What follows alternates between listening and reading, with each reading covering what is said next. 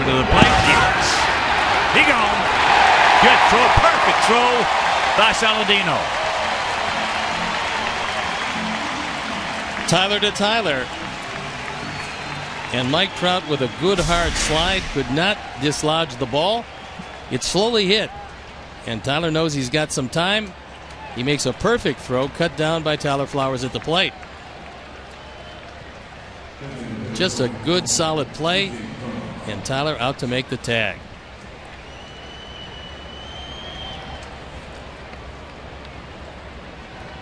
So here's Cron. Did it into a 5 4 fielder's choice.